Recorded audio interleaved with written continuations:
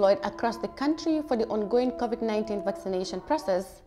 Now, the Select Committee on Education, Training and ICT presented reports on the National Accreditation and Quality Assurance Authority bill before lawmakers on Tuesday. The bill was first moved by the Minister of Higher Education, Research, Science and Technology in November 2020. Alajimbo tabled the NAQAA bill, which highlights 50% Gambia ownership, share of private institutions, and financial viability of institutions before they are allowed to operate, among others. Omar Ahmed Toure tells us more.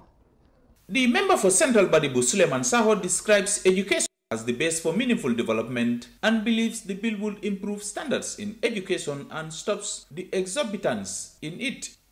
We want education to be of quality an education that citizens can benefit from, an education that will promote economic growth and sustainable livelihood. Honorable Speaker, institutions should not be established to rob our poor people. In the sense, there are no regulations. Parents will pay a high sum of money at the end of the day, quality is compromised.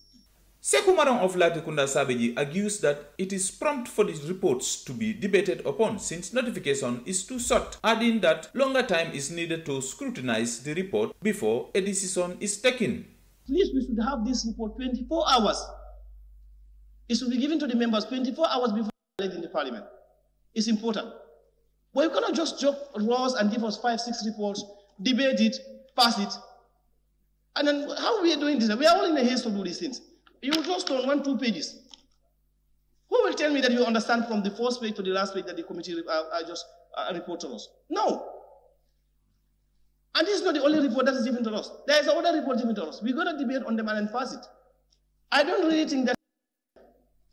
Ousman Sillah of Banjul North suggests for the quality assurance body to also monitor the audit reports of tertiary institutions that uh, it is important for NAQAA to also know how those institutions are managed. So we can do as a requirement for all these institutions to be providing to NAQAA their annual audited accounts. Just for them to be in the know. Since they are talking about, well, their task is to regulate the operations of these institutions the National Accreditation and Quality Assurance Authority is responsible for the registration and licensing of all skills training centers and higher educational institutions in the country. Parts of its mandate include vetting training programs offered at any post-secondary educational institutions. For EyeAfrica TV, I am Omar Ahmad Toure. NAQAA table built before parliamentarians.